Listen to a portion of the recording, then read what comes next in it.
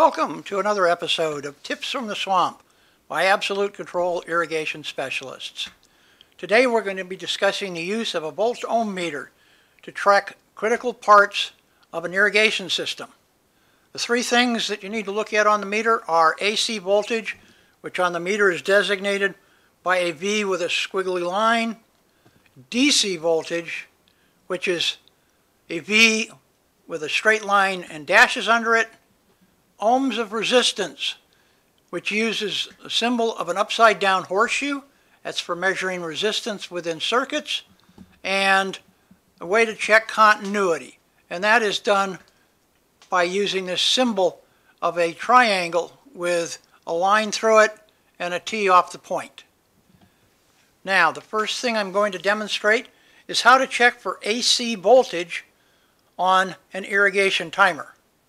The first timer we have is a conventional irrigation timer.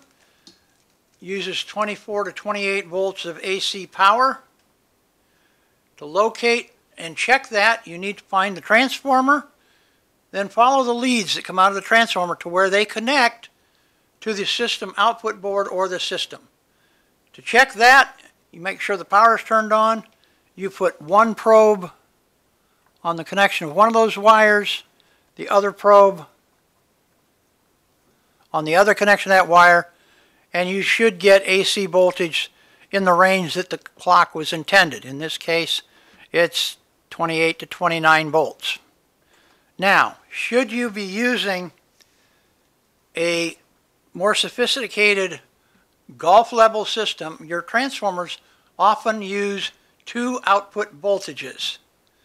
I'm going to turn off this switch and I'm going to hook up a transformer that is a typical transformer used by Rainbird in their control systems that has two voltage outputs. You'll notice that there are four wires coming out of this transformer. There's two orange wires and two blue wires. What you want to do is find the ends of the two orange wires, which are terminate at a plug here. We put one probe there and here. And now we should see no voltage because I haven't turned the switch on. Now if I turn the switch on, you'll notice that voltage jumps up to 28 volts. That is the voltage that is used in this controller to operate your control valves. The two blue wires, which are terminate here and here, show me 11.7 volts, which is the necessary AC voltage to operate the electronics in the device that you're dealing with to run its solid state circuitry. That's the testing of power for your irrigation controllers. Now, if I switch to ohms of resistance, I can check solenoid to see if it's good. This solenoid is a conventional solenoid. If I put one probe on each wire, you'll notice I get 25.2, 25 ohms roughly. 25 ohms is a correct reading for this particular solenoid. Some manufacturers are at 25, some go as high as 50 ohms.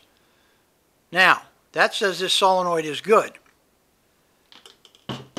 This next solenoid that I'm going to use, if I put one probe there and one probe here,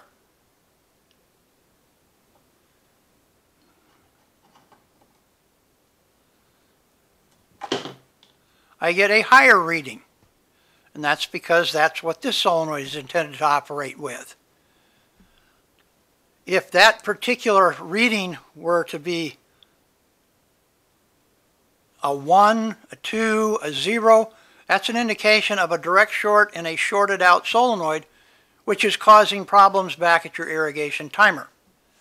That's the way you can check your solenoids in the field at the valve or at the sprinkler head if you're using a valve and head system. Now, I'm going to go to continuity testing.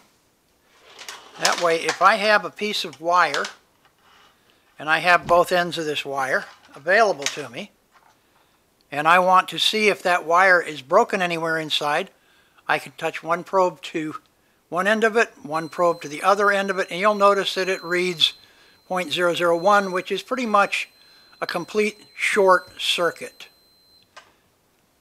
I can also do that with solid wire, which I have here.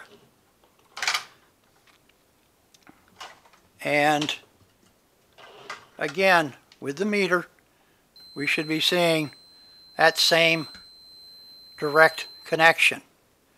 Now the other possibility is if you know where the wire is connected at your irrigation timer, and you know where it's connected at the valve, and you're not sure why it's not working, and you want to make sure that the wire is good between the irrigation timer and the control valve, what you can do is remove the wires from the irrigation timer, your neutral or common wire and your one zone wire.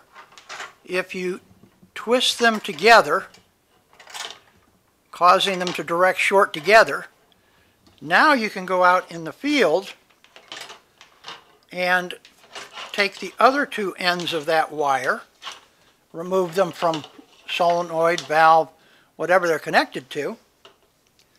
Again, take your probes, connect one probe to one wire, one probe to the other wire, and again, you should see a direct connection. If that is not, if you don't get that kind of a reading, that's just one of those two wires is broken and is not getting power to the device that you're trying to operate. So if that were the case, if I disconnect this connection here and now test the two wires,